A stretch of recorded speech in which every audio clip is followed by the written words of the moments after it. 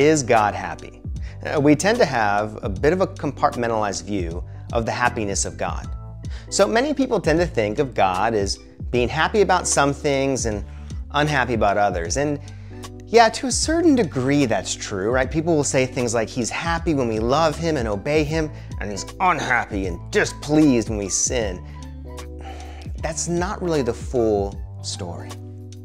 I think rather than the question of God being happy or not happy with us, uh, there's a deeper question. I think there's a more important and a more foundational thing to ask.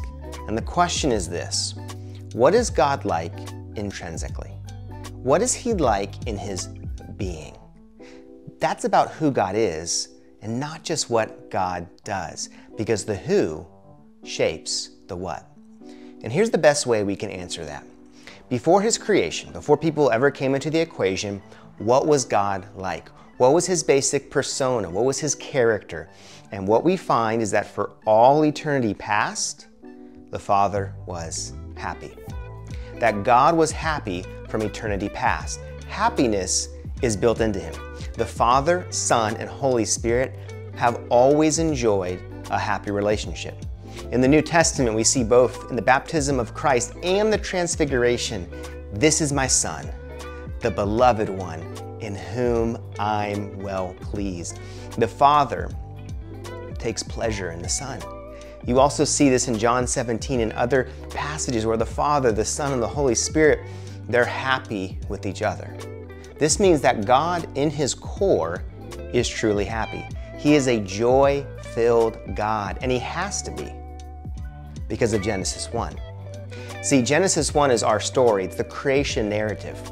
And in this creation narrative, we're shown something striking. Only God can create out of nothing. God doesn't use pre existing materials, but rather, He simply speaks the world into existence. Only He can create out of nothing. Professor Brent Strawn, he puts it like this He says, In the Bible, God is happy, and God's happiness affects and infects the rest of the non God world, humans included. And here's what that means if God isn't happy, then happiness can't exist because we lack the ability to create anything out of nothing, which presupposes happiness began with Him. And we only know happiness because it was found from God.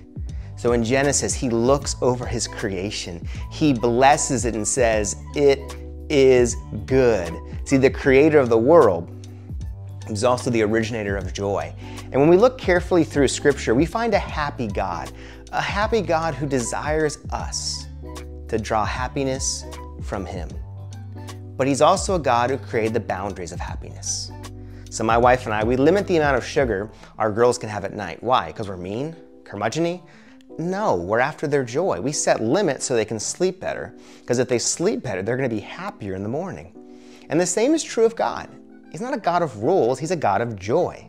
He's not a wrathful deity, He's a holy creator, and the Father knows that your joy and your holiness, they're connected.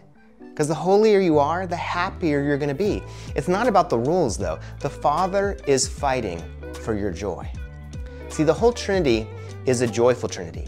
They're a happy Trinity, and they're thinking with the end in mind. So here's the big idea that I hope stays with you sadness will go away joy will go into all eternity. Because when you experience joy, you're touching eternity. You're tapping into your birthright. If God created you and you're made in His image, and He is the happiest being alive, then His joy is your joy. And the Trinity is full of joy. Because sadness will fade away, pain will fade away, joy will go into all eternity. God wants you to pursue joy and He's created the world in a way that joy can be found everywhere. But many of us, we've put God's joy in a box.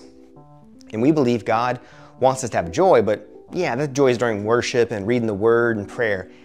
Yeah, that's true, but God also wants you to find joy everywhere else.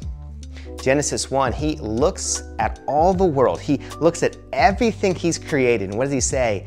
It's good. He, he doesn't say church services are all that are good. He doesn't say, well, prayer is all that's good. He looks everywhere and says, it's all good. His intent is that you find joy everywhere. Yes, in your relationship with Him, but also in relationship with others. God created us for relationships. He created us because God's all about a family. And relationships can bring such joy. Look for those relationships, cherish them. God wants you to find joy in them. He wants you to find joy in what He's created, in nature. He wants you to go to Yosemite and the Grand Canyon. And He wants you to go, oh, wow. He's literally pointing, going, look at what I've done. See, central to the creation of nature, it's joy. You know, there are creatures in the ocean we'll never see. There are planets and stars we'll never see. So, so why are they created? They're simply recreated because they bring God joy.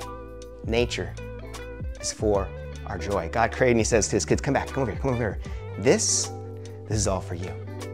God wants you to find joy in food. If He didn't, everything would taste the same. But God wants you to experience the wonder and joy of a perfectly done ribeye, or a really good cup of coffee, or a beautiful cinnamon roll in the morning. There are few things in life better than sharing a good meal with people you love. And listen, we could go on and on and on of all the ways and all the things God has created for our joy. He is a happy God. And our understanding of our own happiness is directly correlated to how happy we think God is. The happiness factor in our life is all about our understanding of our own happiness and how it directly correlates to how happy we think God is. Friends, we serve a happy God.